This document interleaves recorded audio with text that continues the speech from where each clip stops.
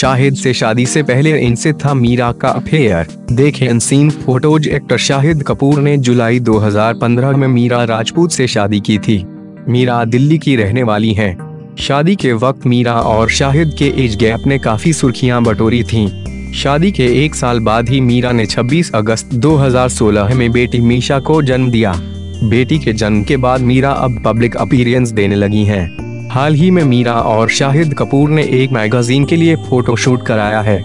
मीरा ने जिस दौरान शाहिद से शादी की, वो लेडी श्री राम कॉलेज, नई दिल्ली में थर्ड ईयर इंग्लिश ऑनर्स की स्टूडेंट थी।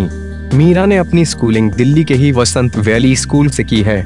मीरा और शाहिद की मुलाकात राधा स्वामी सत्संग ब्यास के ज़रिए हुई थी।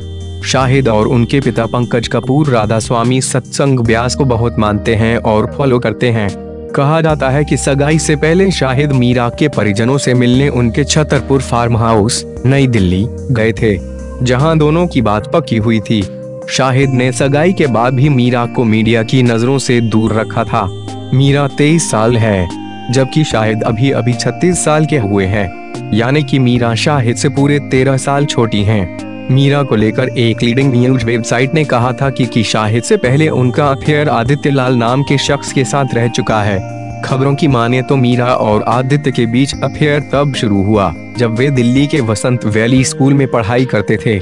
लेकिन कुछ टाइम बाद दोनों ने एक दूसरे से अलग हो गए। कहा जाता है इसके बाद आदित्य पढ़ाई के लिए लंदन चले गए। हालाँकि मीरा ने कभी इस बारे में बात नहीं की है।